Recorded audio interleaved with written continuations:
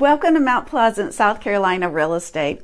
I think it is about like this across the United States, but here it is a strong seller's market. And as home prices continue to rise and even thought it may look like inventory is low, it's actually the highest it's been in the Charleston, South Carolina region in history. While mortgage rates have actually inched up a slightly, they are still low, enticing buyers to continue their home search. Hi, I'm Kimberly Ritter, Homes by the Ritter Group at Carolina One Real Estate, and this is a tough market for buyers. But here are five tips to navigate through this market. So, number one, choose a realtor who stays on top of their game. Now is a time to choose your team, and you want to have the best players on your side. Choose a Charleston real estate realtor with experience and expertise in the area. You want someone who keeps a tab on new listings and ready to jump on those opportunities for you and to stay competitive. Responsiveness and communication is key. Number two, ask for clear expectations depending on your housing and financial situation. This market is not a great time to wait for that perfect home to come along. Share with your realtor your non-negotiables. Paint colors can be changed and additions can actually be made in time.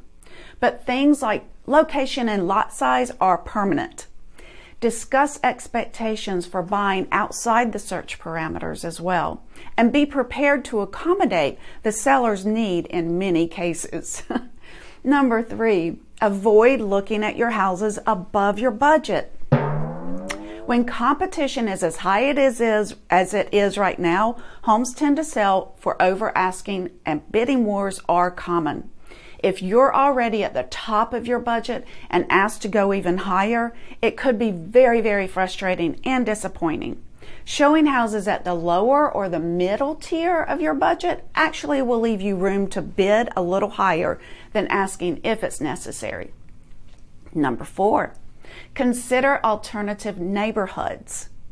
With close to half of the population working remotely these days, you may be more open to the idea of living in neighborhoods that you may not have been previously considering.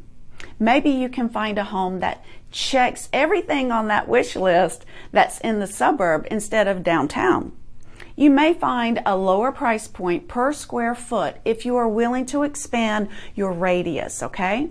So factors like commuting and traffic are not as crucial as they once were, and many families are after access to outdoor activities instead. This is where knowledge of the local area will be key. Number five, what can be done to sweeten the deal? Here in Charleston, South Carolina, homes are frequently selling the same day that they are actually listed on the market with multiple offers. When sellers are receiving multiple competitive offers in such a short amount of time, anything that you can do to stand out will actually put you ahead.